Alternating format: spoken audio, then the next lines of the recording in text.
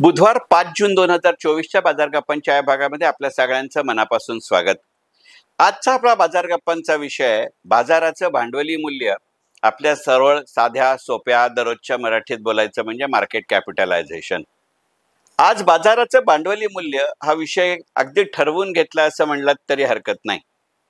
त्याला अनेक कारण आहेत. सगळ्यात पहिलं आणि महत्वाचं कारण म्हणजे गेले काही दिवस बाजाराचं भांडवली मूल्य चार जून दोन हजार चोवीस ला सहा ट्रिलियन होणार का याची एक मोठी चर्चा आपल्या समाज माध्यमांमध्ये रंगतीये. चार जून दोन हजार चोवीस हा यावेळच्या आपल्या लोकसभेच्या निवडणुकांचा मतमोजणीचा किंवा निकालाचा दिवस आहे. आणि एक साधारण अपेक्षा अशी आहे की मोदी सरकार पुन्हा एकदा त्यांच्या तिसऱ्या टर्म करता सत्तारूढ होईल. आणि बाजाराला ते हवंय किंवा नकोय हा विषय वेगळा आहे. कारण सरकार आणि बाजार यांचं नातं हे सासवासुनांच्याही पलीकडचं आहे. तो मराठी मालिकांच्या आवाक्यातला विषय नाही एवढं नक्की. आणि मराठी मालिका आणि समाज माध्यम यांच्यामधलं सगळ्यात महत्वाचं साम्य हे आहे की ते केव्हा कोणता विषय कधी आणि सगळ्यात महत्वाचं म्हणजे कसा लावून धरतील याच्याविषयी न बोललेलं बरं इतकंच चांगलं. मुळात एक गोष्ट आपण लक्षात घेऊ. की आज मी तिला आपल्या देशातलं कोणत्याही पक्षाचं येऊ शकणारं केंद्र सरकार आणि शेअर बाजार याचा एकमेकांशी संबंध हे एकमेकांवर अवलंबून असणारे घटक असा नाही. आणि असला तरीही शेअर बाजाराला सरकार जास्त लागतं की सरकारला शेअर बाजार जास्त लागतो याचा विचार करावा लागेल अशी आजची परिस्थिती आहे. खरं सांगायचं म्हणजे या दोन गोष्टींचं काहीही साधर्म्य साम्य समांतरता नाही हे लक्षात घेऊ.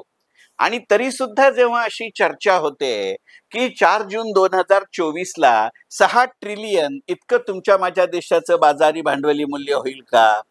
एक गोष्ट आपण लक्षात घेऊ की पाच ट्रिलियनचा टप्पा हा आत्ता एकवीस मे दोन हजार चोवीस ला झालाय. याचा अर्थ तेरा दिवसामध्ये एकवीस मे म्हणजे जो मेचे उरलेले दहा दिवस आणि जूनचे चार दिवस जरी धरले तरी दहा आणि चार चौदा दिवसामध्ये बाजाराच्या भांडवली मूल्यामध्ये एक ट्रिलियन डॉलर रुपया नाही. एक ट्रिलियन डॉलर इतकी वाढ होणे एवढा आपला बाजार मोठा आहे का? याचा आपण विचार करू.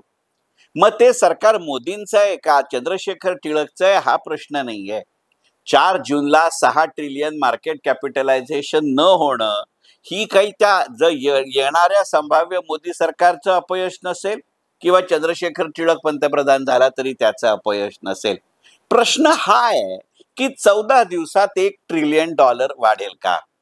मी सहज गमतीनं हा व्हिडिओ रेकॉर्ड करायच्या दोन मिनिटं आधी बघत होतो की मुळात एकदा आपण ना मिलियन बिलियन ट्रिलियन हे समजून घेऊ.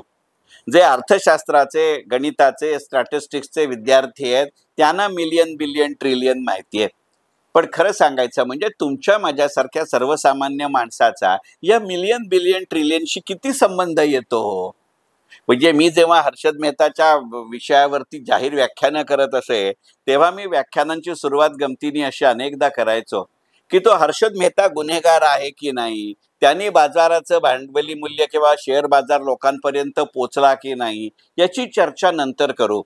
पण हर्षद मेहताला एका गोष्टीचं क्रेडिट द्यायला पाहिजे की पूर्वी लक्ष दशलक्ष कोटी ही नव्वद ब्याण्णव पंच्याण्णव मधल्या घटना आहेत. असे आकडे किंवा अशी संख्या किंवा असे शब्द हे मराठी पेपरमध्ये फक्त अर्थसंकल्पाच्या दुसऱ्या दिवशी यायचे. हर्षद मेहतामुळे ते वारंवार यायला लागले. म्हणजे जसं गडकरी साहेब हे प्रत्यक्ष काम करतात आणि ते बोलायला उभे राहिले की फक्त लक्ष कोटी रुपयांतच बोलतात पण ते करून दाखवतात. हर्षद मेहतानी तसं केलं होतं का? हा वेगळा विषय आहे. ही तुलना नाही. दोघांची कार्यक्षेत्र वेगळी कार्यकाळ वेगळा कार्यशैली वेगळी आणि त्यामुळे साहजिक दोघांचे परिणाम पूर्णपणाने वेगळे. आणि त्या पार्श्वभूमीवरती एकदा जरा बिलियन मिलियन ट्रिलियन असं समजून घेऊ. एक बिलियन म्हणजे दहा लाख रुपये.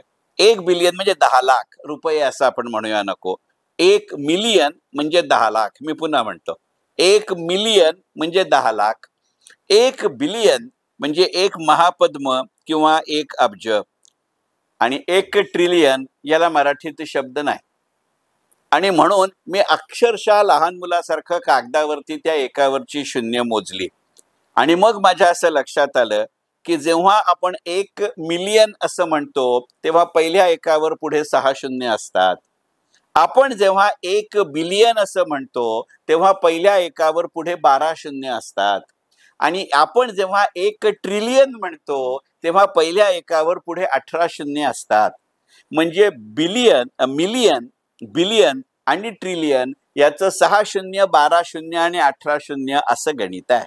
आता तुम्ही मला सांगा कोणतंही सरकार आलं तरी आपल्या देशाच्या शेअर बाजारामध्ये बाजारी भांडवली मूल्य म्हणजे मार्केट कॅपिटलायझेशन असं एकावर अठरा शून्य यानी तेही डॉलरमध्ये वाढू शकतं का?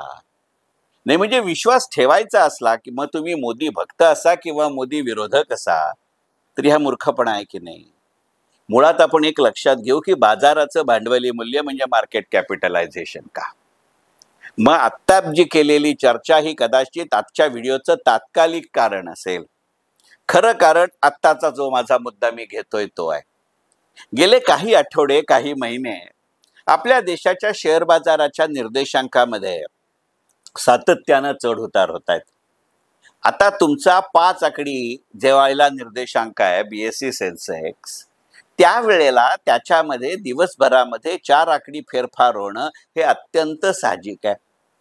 म्हणजे माझा आजपर्यंतचा अनुभव असा आहे मी एकोणीसशे अठ्ठ्याऐंशी साली बॉम्बे स्टॉक एक्सचेंजला नोकरीला लागलो. तेव्हापासून आजपर्यंत माझा शेअर बाजाराशी संबंध आहे. त्यावेळेला माझ्या लक्षात आलेली गोष्ट अशी आहे की ज्या वेळेला सीचा सेन्सेक्स हा तीन आकडी होता तेव्हा दिवसभरात त्याच्यात एक आकडी बदल व्हायचा. बीएससीचा सेन्सेक्स जेव्हा चार आकडी झाला तेव्हा त्याच्यात दिवसभरामध्ये दोन आकडी बदल व्हायला लागले. ज्या वेळेला बीएससीचा सेन्सेक्स पाच आकड्यांमध्ये यायला लागला त्यावेळेला दिवसभरात तीन चार आकड्यांचे फरक होणं हे अत्यंत स्वाभाविक साहजिक नैसर्गिक आणि नित्य नियमानी होणारी गोष्ट आहे. पण आपल्याकडे एखादी गोष्ट सेन्सेशनलाइज करायचं झालं म्हणजे बाजाराचे भांडवली मूल्य काही लाख कोटी रुपयांनी घसरले. यातनं आपण फक्त पॅनिक स्ट्रेट कर सेट करत असतो दुसरं काहीही करत नसतं. मुळात आपण कधी विचार केला का की बाजाराचं भांडवली मूल्य म्हणजे नेमकं काय? अगदी त्याच्या बीएससी सेन्सेक्सबद्दल चर्चा केली जाते निफ्टी बद्दल केली जात नाही. याचं कारण असं आहे की निफ्टीच्या साधारणपणे अडीच ते तीन पट इतके बदल बीएससी सेन्सेक्समध्ये होतात. कारण मुळातच एन एस सी निफ्टीच्या अडीच ते तीन पट इतका बीएससीचा सेन्सेक्स आहे. मग एक पडला असं सांगण्यापेक्षा तीन पडले असं सांगण्यात जी गंमत असते एवढ्या करता बीएससी सेन्सेक्सचा पाया आहे. म्हणजे मार्केट कॅपिटलायझेशनची चर्चा करताना पहिल्यांदा बहुतांश वेळेला बीएससी सेन्सेक्सचा पाया धरला जातो ही गोष्ट लक्षात घेतली पाहिजे. आता सेन्सेक्स आणि त्यातल्या कंपन्या याविषयीचा बाजार गप्पांचा व्हिडिओ आपण अगदी गेल्या आठवड्यात केलाय त्यामुळे त्या मुद्द्यांची पुनरावृत्ती करत नाही. आज बीएससी मध्ये किमान दहा हजार कंपन्या नोंदणीकृत आहेत. त्यातल्या दहा हजारच्या दहा हजार कंपन्यांची दररोज उलाढाल होत नसते. आजही अगदी बाजार तेजी ते नव्याने खूप मोठे अकाउंट उघडतायत फार मोठी ट्रेडिंग ॲप्स आहेत त्यामुळे लोक पहिल्यासारखी गुंतवणूकदार राहिली नाहीत. या सगळे सिद्धांत थिअरीज जरी खऱ्या असल्या त्या किती खऱ्या आहेत हा कदाचित वेगळ्या बाजार गप्पांचा विषय होऊ शकतो. पण आपण चर्चेसाठी मान्य केलं की त्या खऱ्या आहेत. तर एक गोष्ट लक्षात घेऊ. या दहा हजारच्या दहा हजार कंपन्यातल्या प्रत्येक कंपनीच्या शेअर्सची उलाढाल दररोज शेअर बाजारामध्ये होत नसते. जिथं सातत्यानं उलाढाल होते असं जेव्हा आपण वाक्य म्हणतो तेव्हाच आपण गृहित धरलेलं असतं की कंपन्या दहा हजार लिस्टेड आहेत. त्या कंपन्या दहा हजार लिस्ट असताना त्यातल्या प्रत्येकाची उलाढाल होत नाही. डोक्यावरनं पाणी या दहा हजार पैकी अडीच हजार ते तीन हजार इतक्या कंपन्यांची सातत्यानं उलाढाल होत असते. लक्षात घ्या मी शब्दप्रयोग सातत्यानं केलाय मी दररोज केलेला नाही. दररोज बाजार उघडल्यापासून त्या दिवशीचा बाजार होईस्तो बंद होईस्तोवर ज्या कंपन्यांची दररोज उलाढाल होते ही संख्या जमत्यम एक हजार आहे. म्हणजे दहा हजार कुठे आणि एक हजार कुठे? हे आपण लक्षात घेऊ. मग मग या एक हजार दोन हजार तीन हजार ज्या कंपन्यांची दररोज होत असेल एक दिवसाड होत असेल दोन दिवसाड होत असेल अगदीच आज झालं मग वर्षभर त्याच्यामध्ये ट्रेड झालं नाही असं ज्यांची कॅटेगरी नाही याला आपण सातत्यानं म्हणूया. पण यांची जेव्हा सातत्याने उलाढाल होते असं आपण म्हणतो याचा अर्थ कंपनीचं जेवढं अथोराइज्ड कॅपिटल आहे किंवा कंपनीचं अगदी दररोज जेवढं पेडअप कॅपिटल आहे त्या सगळे शेअर्स बाजारामध्ये खरेदी विक्रीसाठी उपलब्ध नसतात. कारण यातले काही शेअर्स हे त्या प्रमोटरनी किंवा दुसऱ्या कोणीतरी प्लेच केलेले असतील ते कर्जाव घेतले त्याच्या गहाण म्हणून ठेवलेले असतील म्हणजे ते ते शेअर्स बाजारात विकू शकत नाहीत. काही शेअर्सना प्रमोटरचा लॉक इन पिरियड असतो म्हणजे ते शेअर बाजारात विकले जात नाहीत. काही शेअर्सना एम्प्लॉई लॉक इन असतो. लॉक इनचे नानाविध प्रकार आहेत. म्हणजे लॉकड इन असलेले शेअर बाजारात विकता येत नाहीत. प्लेज इन असलेले शेअर बाजारात विकता येत नाहीत. त्यामुळे बाजारी भांडवली मूल्य म्हणताना त्या कंपनीचा जो फ्लोटिंग स्टॉक आहे जो बाजारामध्ये खरेदी विक्रीसाठी उपलब्ध आहे याचीच आकडेवारी लक्षात घेतली जाते. आणि मग अशा फ्लोटिंग स्टॉकची संख्या गुणिले त्या शेअर्सचा बाजारभाव हे त्या दिवसाचं बाजाराचं भांडवली मूल्य असतं. आता यातले दोन्ही घटक सापेक्ष आहेत. मग ज्या वेळेला मी पेपरमध्ये वाचतो की सेन्सेक्स गडगडला काही लाख कोटी रुपयांचं नुकसान ते कुणाचं? तुमच्या आणि माझं नाहीये ते त्या संपूर्ण बाजाराचं आहे. पण बाजारात असा एक तरी कोण हरीचा लाल आहे का की ज्याच्याकडे बाजारात उलाढाल होणाऱ्या सगळ्याच कंपन्यांचे सगळेच शेअर्स आहेत. कारण मुळातच असं सैद्धांतिक दृष्ट्याही होऊ शकत नाही व्यावहारिक दृष्ट्याही होऊ शकत नाही कायदेशीर दृष्ट्याही होऊ शकत नाही कारण या लिस्टेड कंपनी आहेत. म्हणजे त्या पब्लिक कंपनीज आहेत. आणि पब्लिक कंपनीची कायद्यानंच दिलेली डेफिनेशन एका विशिष्ट संख्येपेक्षा जास्त भागधारक अशी आहे. म्हणजे आपण ज्या वेळेला मार्केट कॅपिटलायझेशनची चर्चा करतो त्यावेळेला हे गणित पाहिलं पाहिजे की नाही? हे आज समजून घ्यायचं कारण असं की जो माझा पहिला मुद्दा होता की पुढच्या चौदा दिवसामध्ये एक ट्रिलियन डॉलरनी तुमचं बाजारी भांडवली मूल्य वाढणं का शक्य नाही? याचा जर थोडा इतिहास पाहायचा झाला तारखेत आणि आकड्यात गडबड व्हायला नको म्हणून मुद्दा म्हणून फार क्वचित असा कागद समोर धरतो पण आज बाजार गप्पांमध्ये धरतोय. मुळातच या चर्चेला एक मात्र अर्थ आहे तोही लक्षात घेतला पाहिजे. की आज समाज माध्यमांना कदाचित जागतिक पातळीवरती समाज माध्यमांना भारताच्या भांडवल बाजाराची दखल घ्यावी लागते किंवा घ्यावीशी वाटते याचं हे निर्देशक आहे. आणि म्हणून मग वॉरन बफे यंदाच्या बर्कशायर हाथवेच्या वार्षिक सर्वसाधारण सभेमध्ये म्हणतो की बाजार भारतीय शेअर बाजार हा अनटॅप्ड अनरिअलाइज ऑपॉर्च्युनिटी देणारं क्षेत्र आहे. जिम रॉजर्स अगदी या आठवड्यामध्ये दिलेल्या मुलाखतीमध्ये असं म्हणला की पुन्हा एकदा नव्यानं संधी मिळाली आणि हाती पैसा असला तर मी नव्या दमानं नव्या जोरानं आणि पहिल्यापेक्षा जास्त प्रमाणात बाजारामध्ये येईन. या आशेवरती मी मार्केट कॅपिटलायझेशन आहे. कारण वॉरन बफे असेल जिम रॉजर्स असेल अशासारखे गुंतवणूकदार भारतामध्ये येतात तेव्हा ते चंद्रशेखर टिळक सारखे एक रुपया दोन रुपये पाच रुपये दहा हजार रुपये अशी गुंतवणूक करत नसतात.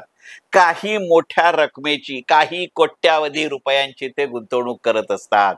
मग त्या क्षणाला त्या मागणीचा जोर हा त्यावेळच्या पुरवठ्याच्या जोरापेक्षा वाढतो.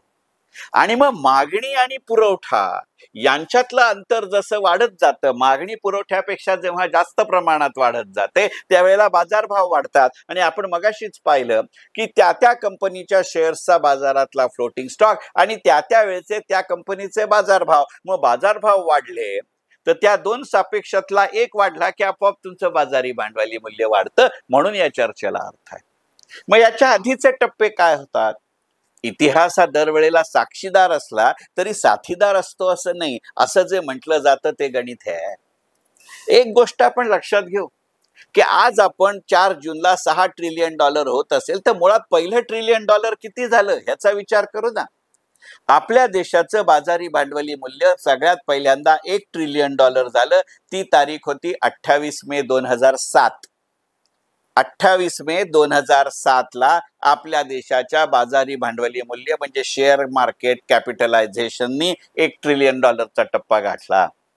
त्या एक ट्रिलियनपासून दोन ट्रिलियन व्हायला दहा वर्षमध्ये जावी लागली आणि सोळा मे दोन हजार सतराला तो टप्पा गाठला. दोनचे तीन व्हायला त्याला चोवीस मे दोन हजार एकोणीस झालं. चार ट्रिलियन व्हायला त्याला एकोणतीस नोव्हेंबर दोन हजार तेवीस झालं. आणि पाच ट्रिलियन व्हायला त्याला एकवीस मे दोन हजार चोवीस झालं. म्हणजे दहा वर्ष दोन वर्ष पाच वर्ष असं वाढतं. म्हणजे आता पुढचा एक ट्रिलियन डॉलर होणार असेल. इतर अनेक सकारात्मक घटक जरी असतील तरी तो सहा दिवसात होणार नाही याचा विचार आपण कधीतरी करू की नाही. मग दोन हजार सातची भारतीय अर्थव्यवस्था दोन हजार सतराची भारतीय अर्थव्यवस्था दोन हजार एकोणीसची भारतीय अर्थव्यवस्था दोन हजार तेवीसची भारतीय अर्थव्यवस्था आणि दोन हजार चोवीसची भारतीय अर्थव्यवस्था. म्हणजे G D P size G D P quantum G D P composition G D P constitution G D P triggers या सगळ्या घटकांचा विचार करू की नाही? मी माझ्या देशाविषयी कितीही आशावादी असलो तरी शेवटी आशावाद आणि वेडेपणा याच्यामधल्या सीमारेषा अस्पष्ट आणि अधुऱ्या असतात याचं भान सोडून चालत नाही. मला सहा ट्रिलियन डॉलर मार्केट कॅपिटलायझेशन झालं त्याचं दुःख नाहीये. पण प्रश्न हा आहे की पाच ट्रिलियनचं सहा ट्रिलियन डॉलर मार्केट कॅपिटलायझेशन होत असताना त्या प्रक्रियेत मी कुठे आहे? त्याच्यामध्ये मी किती वेळा खरेदीची संधी साधली? त्याच्यामध्ये मी किती वेळा विक्रीची संधी साधली? असा विचार करणार की नाही? अन्यथा या पाच ट्रिलियनचं सहा ट्रिलियन होताना मी त्याच्यामध्ये नाही पण वॉरन बफे आहे.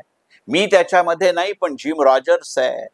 शेवटी मी केव्हाही आलो तरी मी वॉरन बफेच्या प्रमाणात जिम रॉजर्सच्या प्रमाणात येऊ शकत नाही. पण मी माझ्या प्रमाणात येऊ शकतो का?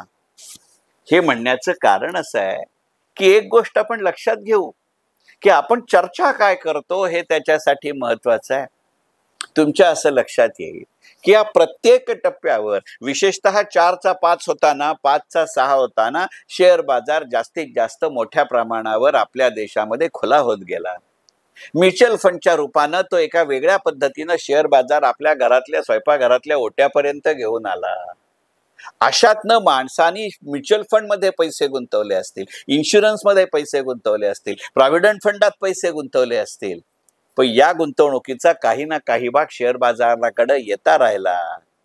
पण मग त्या प्रमाणामध्ये जी बचतीची पारंपरिक साधनं होती तिकडे आपल्या देशामध्ये वळणारा ओघ कमी झाला. करोना नंतरच्या काळामध्ये लोक शेअर बाजाराकडे येताना केवळ ती कंपनी डिव्हिडंड देते केवळ त्या कंपनीचे बाजारभाव वाढतात म्हणजे ज्याला आपण कॅपिटल अप्रिसिएशन म्हणतो म्हणून येत नाही तसं नाही. पण त्याच्या बरोबरीने रेग्युलर सोर्स ऑफ इन्कम म्हणून येतात. पूर्वी जो सेव्हिंग बँकेमध्ये पैसा ठेवला जात होता तो आता काही प्रमाणामध्ये म्युच्युअल फंडच्या लिक्विड इन्व्हेस्टमेंटमध्ये यायला लागला लिक्विड स्कीम्समध्ये यायला लागला. मग असं होताना आम्ही एकीकडे समाज माध्यम म्हणून चर्चा करतोय की पाच मिलियन पाच ट्रिलियन डॉलरचा सहा ट्रिलियन डॉलर होईल का? आणि त्याच वेळेला आम्ही आमच्या राजकीय माध्यमामध्ये हे सरकार कुचकामी आहे कारण देशाच्या अंतर्गत बचतीचे दर व कमी झाला असं म्हणतो. बचतीचा दर कमी होऊन जर उपभोग वाढत असेल तर होणारे परिणाम वेगळे आहेत. बचतीचा दर कमी होऊन शेअर बाजारासारख्या इतर गुंतवणुकीच्या साधनांमधली गुंतवणूक वाढत असेल सेव्हिंग आणि इन्व्हेस्टमेंट मधला फरक तर त्याचे होणारे परिणाम वेगळे आहेत. आणि या सगळ्याचे कळत न कळत परिणाम हे पाच ट्रिलियनपासून सहा ट्रिलियनमध्ये जाताना होणार आहेत. आणि हे संबंध बादरायण नसतील हे अत्यंत उघड आहे. हे होईल हे नक्की. पण त्याची तारीख मागे पुढे होऊ शकते. हा शेवटी ते एक उद्दिष्ट म्हणून ठेवायचं असेल तर गोष्ट वेगळी. ह्याला जर एक समांतर उदाहरण द्यायचं झालं तर भारतीय अर्थव्यवस्थेचा आकार पाच ट्रिलियन डॉलर होईल का? ही जी चर्चा आहे तर त्याच्यामध्ये एक उद्दिष्ट ठेवावं लागतं. तसं हे आहे का हे पाहू. आणि इथे एक गणित लक्षात घ्या. माझी अर्थव्यवस्था अजूनही पाच ट्रिलियन झालेली नाही. तेव्हा माझ्या देशाच्या शेअर बाजाराच्या बाजारी भांडवली मूल्याचा आकार मात्र पाच ट्रिलियन झालाय. म्हणजे एकंदरीतच ज्या प्रमाणामध्ये एन एस सी निफ्टी आणि बीएससी सेन्सेक्स मधला फरक असतो. तसा फरक माझ्या देशाच्या अर्थव्यवस्थेचा आकार आणि माझ्या देशाच्या शेअर बाजाराचा आकार यात असतो का हाही विचार करावा लागतो. कारण अर्थव्यवस्था हा परफॉर्मन्स असतो. आणि शेअर बाजार हा परफॉर्मन्सही असतो आणि परसेप्शनही असतं. जितके घटक जास्त तितकी सापेक्षता जास्त तितके त्यातले धोके जास्त. आणि म्हणून आजचा बाजार गप्पांचा विषय बाजाराचं भांडवली मूल्य किंवा मार्केट कॅपिटलायझेशन मनपूर्वक धन्यवाद.